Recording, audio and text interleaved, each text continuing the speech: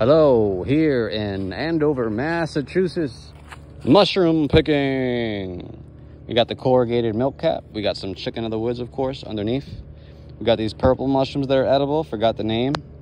We got some birch polypores and a baby maitake. Somebody beat me to the bigger piece that was by the base of the tree, but it's all right.